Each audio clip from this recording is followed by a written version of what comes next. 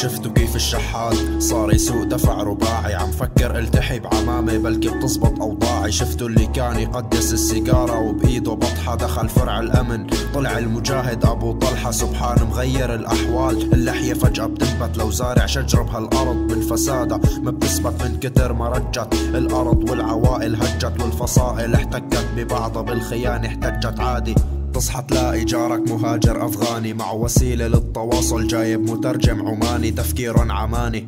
ناقشتن سموني زاني. طلب دورية أنصار بسيارة شبح عباني. ليك رأيي كان إنساني لكن العقل صواني. زتوني بالزنزانة قدامي حرس شيشاني.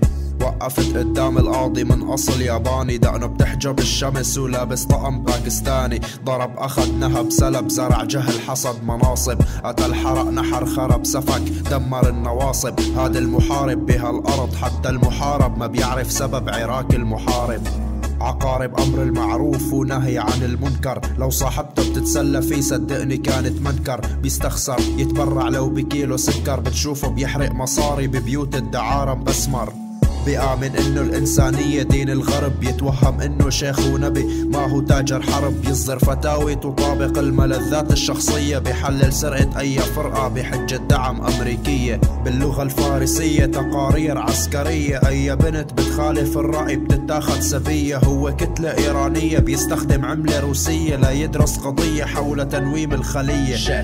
بيعطي دروس بالجهاد بينادي هب وهو ابنه داشر عن البنات مو قادر يطبه لو شاب بيطلع ببنته بيطلب دورية طبه لما تجرب تناقد بيقعد يستغفر لربه. شت. استغفر ربك يا شيخ كلها أيام طيش.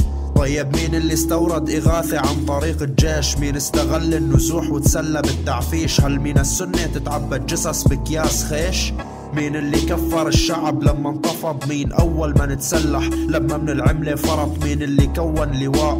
مكون من القطط. لما سيطرته فرط فاخت اللي شافك وانبسط. مين اللي باع الطنبر واشترى إكس 6 وتجوز أربع نسوان ليولد نسل نجس. مين بيمشي بالشوارع؟ مسلح وبينتفش. يا أرض اشتدي واللي بيعترض بتهمة زنا بينحبس. ادعي ربك يجعل أقوالي بميزان. أعمالك كل ما أدعي لك بتجني. عملاقي جهنم أطفالك هاي الأرض ما بتعمر بسلاح وتكفير. هالشعب بحاجة ثورة عقلية للتفكير. انتفاضة للضمير تساوي بالمسير. هيك ما بنحتاج نفرق بين تطهير وتحرير. فظبط التقرير باسم كلام ممنوع. واعتبر كلامي عابر فسكر على الموضوع.